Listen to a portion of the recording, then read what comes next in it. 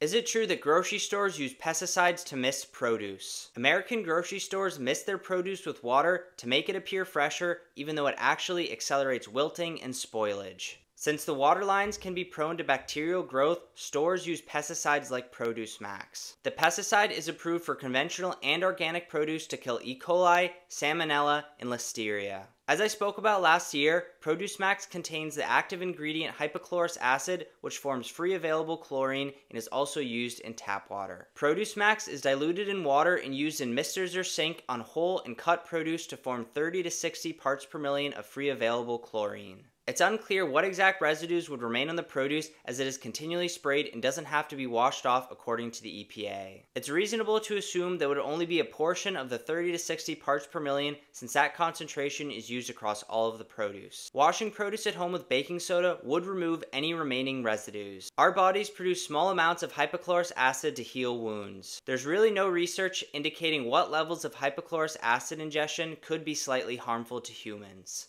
The main takeaway is that grocery stores should stop missing produce altogether since it only accelerates spoilage and relies on the use of pesticides like Producemaxx. You shouldn't get stressed out about this information since fresh produce is going to be greatly beneficial for your health and any minuscule residues of that Producemaxx or other pesticides can be washed off and altogether don't appear to pose a noticeable risk. As always, if you want to find local food near you, you can use my free farm map and community garden map. And if you want to grow fresh produce at home, you can check out the 170 varieties of open pollinated and pesticide free heirloom seeds, wildflower seeds, and native grass seeds that I carry. You can find these resources on my website, myhealth4.com.